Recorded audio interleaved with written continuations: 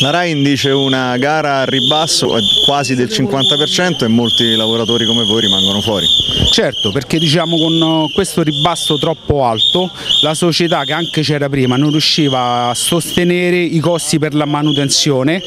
e quindi eh, hanno, hanno, usato noi operai per, eh, per mantenere questo appalto a ribasso e noi operai siamo quelli che paghiamo le conseguenze di tutto, anche perché poi da sei mesi che è partito l'appalto nuovo noi non abbiamo preso una lira di stipendio e i loro dirigenti guadagnano perché un dirigente che fa vincere una gara d'appalto col 49% viene anche premiato per questa cosa perché fa risparmiare l'azienda, però dopo non sa che sotto queste cose a rimetterci andiamo sempre noi operai.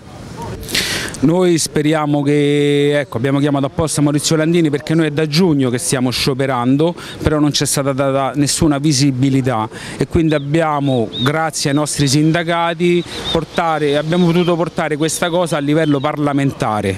L'informazione che ci è stata data è che la RAI avrebbe rivolto all'azienda la necessità di applicare l'accordo che non sta applicando. In più potrebbe esserci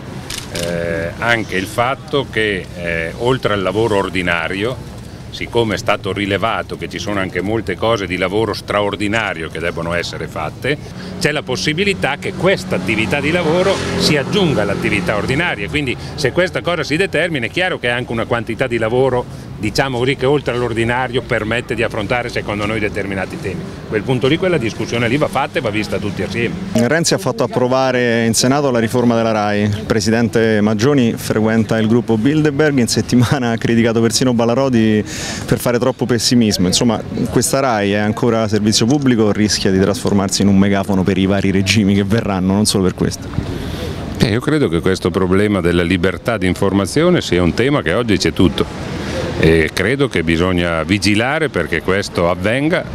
e per fare in modo che sia sempre rispettato. Vedo dei pericoli perché quando si rischia di andare verso un pensiero unico la vedo preoccupante, bisogna invece raccontare la realtà per quello che è e difendere il ruolo del servizio pubblico. Tipo quando il Presidente del Consiglio critica un'assemblea autorizzata solo perché si faceva nel Colosseo?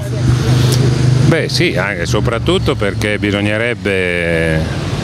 eh, diciamo così, ricordare che questi hanno fatto un'assemblea retribuita semplicemente perché non erano pagati e perché stavano, avevano bisogno di lavorare, tra l'altro autorizzata da qualcun altro. Ecco, eh, a diversità di chi eventualmente con i soldi pubblici nostri è volato a vedere una partita di tennis, ecco, c'è questa diversità che andrebbe ricordata. Quindi l'informazione è abbastanza importante. È decisiva, l'informazione soprattutto la libertà di informazione e l'autonomia di chi fa l'informazione in modo libero è decisiva per far sì che la nostra democrazia rimanga una democrazia.